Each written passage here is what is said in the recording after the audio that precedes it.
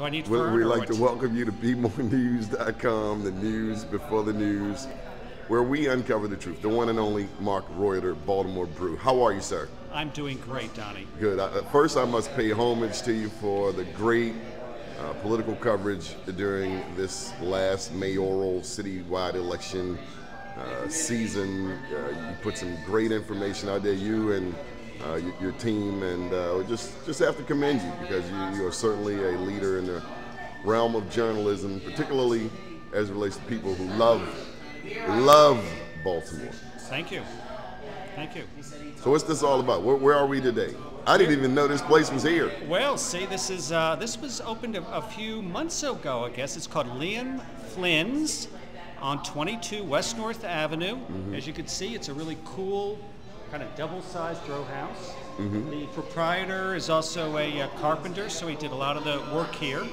It has uh, tons of beer, all different types. 22 West North Avenue. We are right here on the strip. Yeah, we're on the strip, and we're next to the Wind Up, which has you know become a pretty hip place. Um, Mickey so- D's across the street. That's the landmark that everybody knows. Yeah, and so this is part, I think, of the revival of this area, which is great to have these quality places. We're here because we're also, um, the brew's been around for three years. Congratulations, big brother. Thank you. We've done a lot of this, Fern Shen and myself, as a labor of love. Um, as you as you well know, it's a it's a reporter's website. We we spend our time culling through records, going to City Hall, going into the communities. We've done a lot of good stories. We have a lot more that we could do. So we're kicking off this week a fundraiser. In fact, it's going to be called a Kickstarter campaign. It's an internet campaign. We'll be putting the information on the BaltimoreBrew.com website. We're going to try to reach a um, predetermined level and then exceed it. And the idea is, is you know, get what you can then be involved in real citizen journalism and helping what we're trying to do, which is to bring a real look into City Hall, into City Hall contractings, to do um, uh, spot on reporting of neighborhoods. And that's been our motivation um, now, and we've gotten a, uh, we get a lot of audience, and um, you know that's given us a lot of, um, of strength. But a little bit of money would, as with all of us, would help a little to um, to expand. We want to go into education, um, do a little more on nightlife and stuff, um, and all of this would, you know, would, would bring more stuff to our readers. What have been uh, your top stories this year, 2011?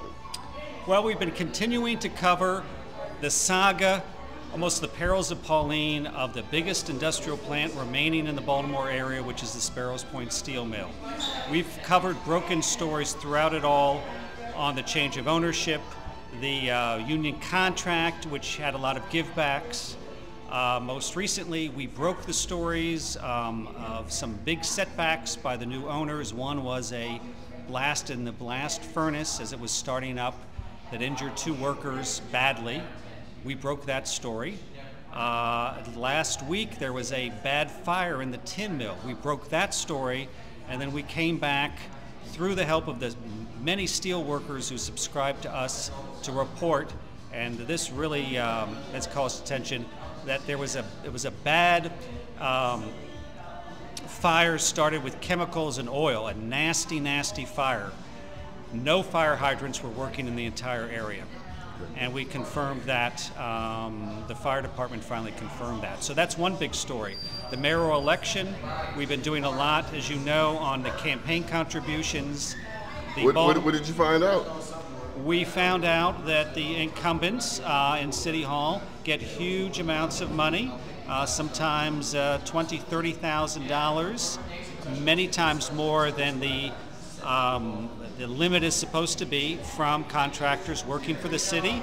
That might not be news or what people suspect, but we've documented the ones doing it. The campaign laws in Maryland say that a company and an individual should only can only contribute 4,000 per election cycle. We documented how, for example, David Cordish, the developer, the uh, Grant Capital Services, they're donating it to the Rawlings-Blake campaign alone twenty-five, thirty-five thousand dollars. There was So a where's the special prosecutor on this? um, I don't know, um, but what I we mean, isn't this the type of thing that the state prosecutor has been going after for the past several years? It, it has been, and I think that you know what we're committed to is you know the First Amendment, the, the free press that that covers this. We've been covering and gotten a, a big um, uh, feedback, positive from readers. The city hall contracts now. We, we go through that and look through those. The um, the Sun papers have sort of stopped doing that years ago, and um, so that's another one. L- l- Let me, let me ask you about this. This is a story that's uh, that's going on as we speak. Occupy Baltimore. Exactly. We've been breaking a lot of stories on that when it first came. Um, Fern Shen's been doing most of it. We had a nice story this morning on a, uh, sidelight of that of some students who uh, occupied a, um, uh, a vacant lot by Barnes and Noble at 33rd and St. Paul that Hopkins has owned for years. They were going to build condos. It failed. It's just a, uh, a fenced-off area. They liberated it yesterday. Uh, we just heard And that yesterday being Sunday, October the nine. 9th. Okay. That's our more serious side, but we also do portraits of, of interesting artists like the um, the artist who does the glasswork, uh, Lauren Cornish. Done a lot of work on him. Um, and uh, we have a, we do good food columns. We do. Oh yeah, give, give me a good restaurant in Baltimore. Well, we would need Francine um, Halvorsen, who's the one who does that. I think she likes the Black Olive a lot in, in Fells Point. That's okay. that's the one. Black. Olive has excellent food. Aha. I should ask you, Doni. Great food, fresh seafood, top of the line. Right. I do know that there were some community challenges, I think, back during the summer, but uh, you know, I, I've given a fundraiser there before. Beautiful Excellent. place, just Good. before I went off to Africa. Aha. So you, you won't catch me talking smack about them. No. We also, and um, Francine did it, wrote about the, um, the new food vendors that are coming into town with new stuff. Uh, they got snagged into all sorts of um, bureaucratic red tape, which we wrote about, and I would say we're instrumental in helping desnag those vendors from some of the red tape. Okay, okay. So uh, introduce us to Fern. Let's, let, let's get her take on this. Okay. I know she's hosting. Okay. Fern, you're the host, but uh, Hi. How you doing? What's your name? I'm doing great. I'm Fern Shen. Fern I'm, Shen. Uh, the editor of the Baltimore Brew. I'm so thrilled to be in a, you know, Doni production. Wow. Tell us about the brew from your perspective. What's, what's the significance of it? The brew has been just kicking it. We've been doing great stuff, and we really feel like we are very much needed in the city.